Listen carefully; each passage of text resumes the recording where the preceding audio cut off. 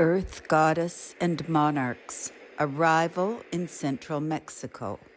Diana Bennett. Once upon a time, when I was a little girl, I fell in love with a tall plant that grew in the sandy dunes of Georgian Bay. It seemed magical because it bled creamy white sap.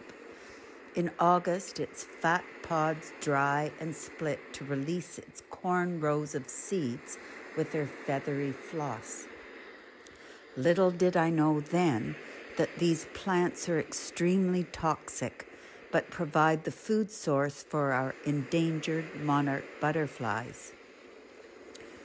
In my series of images, I trace the story of the role poisons play in the cycle of life. Farmers eliminated milkweed from their field through herbicides. With their food source and egg nursery in decline, monarch populations were put at risk.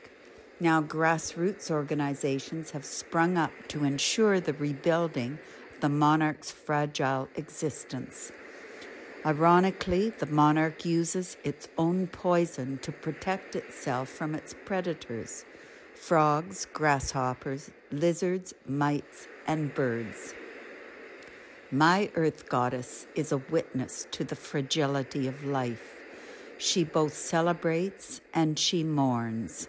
This work is the centerpiece of the story when monarchs have arrived in central Mexico to hibernate.